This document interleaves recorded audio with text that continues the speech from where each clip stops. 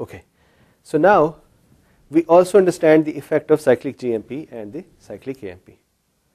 Let's continue our discussion to talk about what happens next.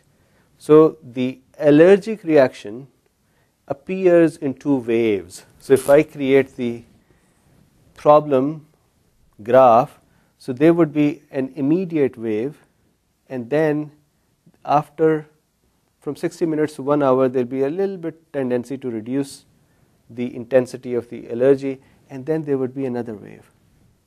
So this is called late phase reaction and this is the early or immediate reaction.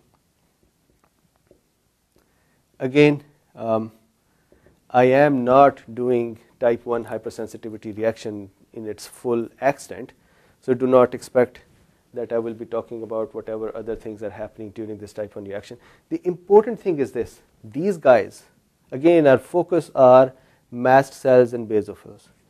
These guys have emptied their chemical substances, right? So they are master chemists who have made things histamines and heparins and tryptases and peroxides and they release them. They caused, in, in their opinion, they are helping us beating some helminths or bacteria or taking care of some venoms and stuff like that. So they, they, they are actually very happy for what they're doing. And the nucleus should be bilobed. So I hope you understand. So, but once they have done the degranulation, what happens next is very important. Within two hours and onwards, these cells become busy making one more thing. And that one more thing is that these cells are now going to make another uh, set of chemical substances which are going to be creating even bigger problem for us. So what does that mean? They, these cells are going to become busy. So now they have released their mediators, they're done, they're empty, right? So now they say, well, I'm empty. I want to do something more. I want to participate in this protective mechanism. They don't know they're damaging us. So what is that participation? These cells sit down and start making things from the arachidonic acid. So lipid mediators will be formed now. Plus some chemotactic factors are going to be formed. Although what I forgot to mention was that when this degranulation happens, there are certain chemotactic factors which are released as well. So I hope you understand that the chemotactic factors are which are going to attract other cells in this area to participate in the problem, right? Or in the solution, whichever way. Uh, if you are a human, then you would say that these cells are causing the problem. If you yourself are a basophil, then you think that you are actually helping, right? So you are part of a solution.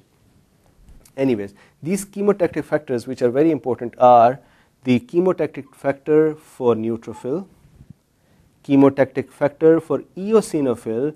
So see this is our second player today. In our next lecture we'll be talking about that. So this is really important for the eosinophil to, to, for us to know that how the eosinophil starts participating in this battle. This is because mast cell and the basophil they are calling the eos, eosinophil to come in here. So this chemotactic factor is also called eotaxin. Right? So just like a chemokine, this is an eotaxin which is a chemotactic factor for the eosinophil. Then we would also have chemotactic factor for basophil and uh, lymphocytes. So eotaxin is one, chemotactic factor for neutrophil are also released.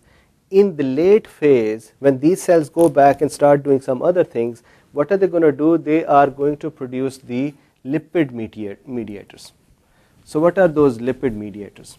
So these cells are going to produce this. So pay attention to this. You have to know this. Why do you have to know this? You have to know this as a doctor that your patient who you have just stabilized and by giving him things to combat the anaphylaxis, within two hours he's going to develop another part of the intense reaction. As a student, you should know that when they are asking you the questions, the from two hours to 10 hours, the mediators of the reaction are different from 0 hour to 2 hour. So this is very important. That is going to decide if the question is the answer is correct or not. So what is important is lipid metab metabolites or lipid derived mediators are going to appear. So you know that these are lipoxygenase pathway and cyclooxygenase pathway, right, of the arachidonic acid. At the end of the day, we, uh, we are going to have leukotriene B4 and then leukotriene C4 and D4. We are also going to have prostaglandins. So here, here is what is important. This is again coming from these cells. But these cells became busy in making them. They keep making them from 2 hours to 6 hours. So first they did immediate, they threw out whatever they had as a result of the reaction. They said, okay, fine, this is what we have. Done. Now they are becoming busy to create more chemical substances which are different from the initial chemical substances and these would have their own action. What, has, what is the action? Number one, leukotriene B4, basophil, neutrophil, eosinophil, chemotactic factor. So the mast cell or the basophil is going to recruit more cells to that area. What is it trying to do? Please don't forget this.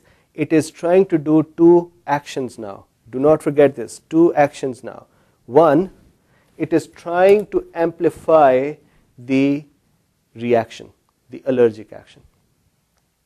So it is trying to amplify its own activity, which it has started. And number two, it is trying to contain that activity as well. Seems like oxymoronic, but it is trying to amplify the activity in that local area, plus it is trying some auditors. It is calling auditors to say, hey guys, come on here, we are having a fight. Come stand here besides us and see if we are doing overaction. Come handle us. Come see what we are doing. Do you know which cell is that? That cell is eosinophil. So mast cell and basophil are going to call the eosinophils to say, come help us understand if we are overreacting. So this eosinophil, leukotriene B4 and eotaxin, these are calling eosinophils in that area.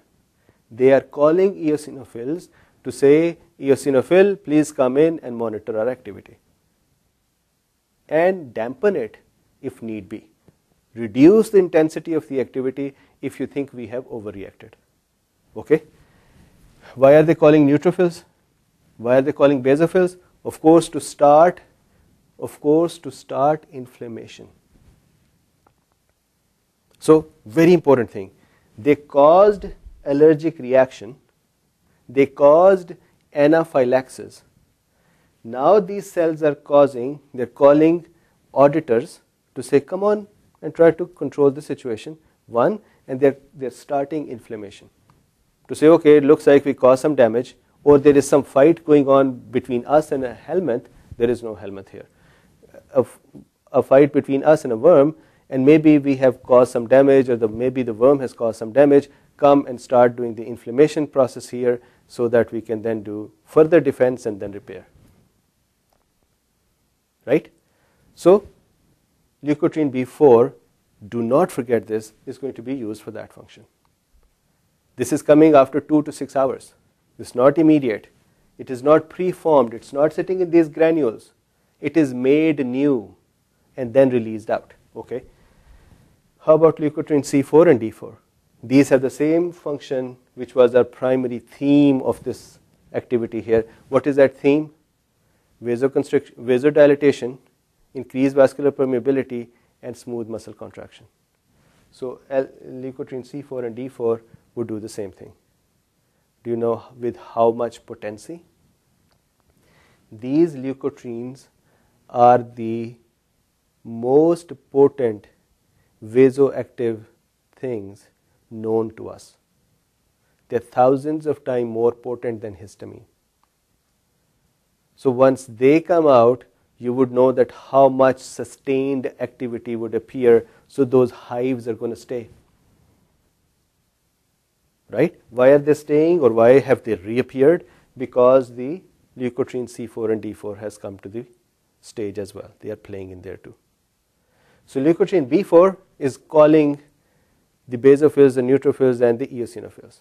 Leukotriene C4 and D4 are increasing and sustaining the reaction. Prostaglandin does the same thing. So now we've gotten the sustained reaction, chemical mediators are different, plus we, we are starting inflammation. So now even if the allergen is moved out, even if the allergen is gone, that reaction is still continuing. Right? So the reaction has become sustained because of addition of these players in that area. Okay? So we'll continue our discussion